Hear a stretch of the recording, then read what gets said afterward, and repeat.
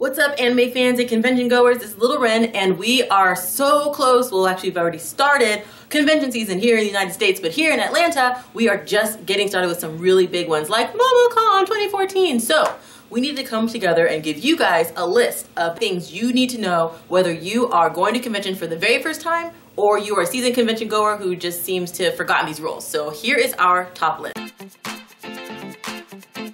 First on the list is to schedule ahead of time.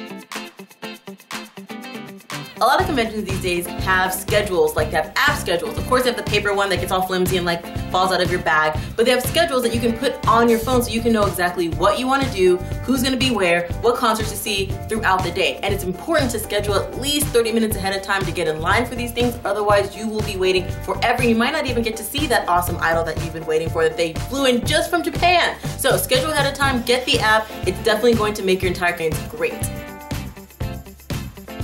Next on our list is the dreaded con crud.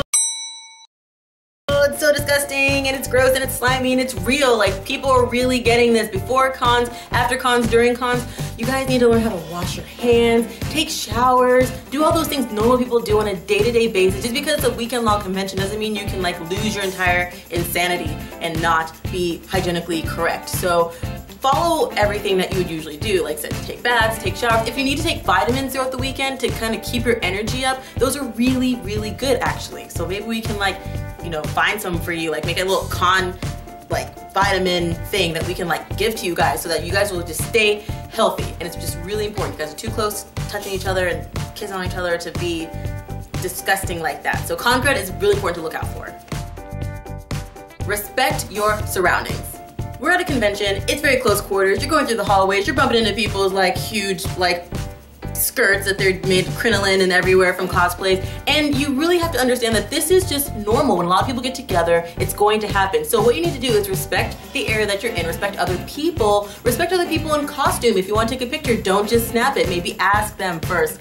Respect photographers, if they ask for your picture and you're really tired and you just don't want to take a picture now, be nice about it because they don't know if you've been standing in five inch heels for the past like 30 hours and you're a guy. So you need to be really respectful about everyone around you. Again, this is a convention, it's not a zoo. We're gonna be real people and we're gonna be really nice to each other and it's gonna make everyone's experience really, really happy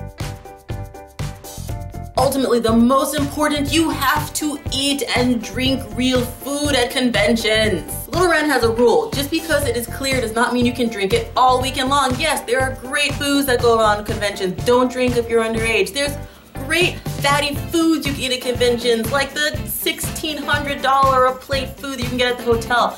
But you need to remember that you need to eat and drink normal food while you're there.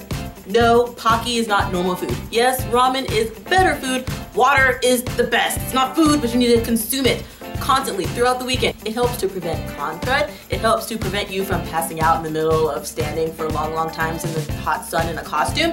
And it helps to, well, bathe in, which goes back to con crud and you not being disgusting. But also you need to consume it inside. Bring your food with you to the convention, whether you're staying in the hotel all weekend or staying just for a day. Pack a lunch, pack lunch materials. You can go get lunch materials from the dollar store. Yes, they sell delicious lunch meats and bread and mayonnaise and those little forky things that you need to spread the mayonnaise on. You can bring all that in a cooler and it'll save you tons of money because you know the only reason you're not eating is because you really can't afford that super industrial, beautiful model of Sailor Jupiter that you've been pining over forever, Monganite. Totally worth it.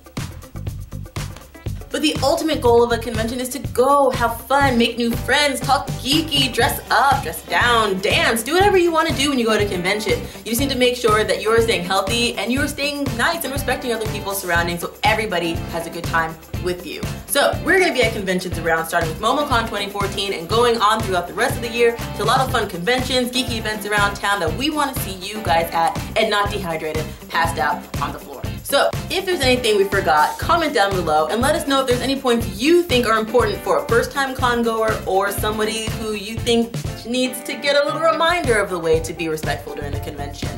We will see you guys soon. You can also catch us on Facebook, Twitter, Instagram. We're gonna be putting up all sorts of pictures when we go to these conventions and we want to tag you and see you guys in them. So, signing out, this is Little Wren. Hey, oh, comic book aficionados, and today I'm bringing you comic book news.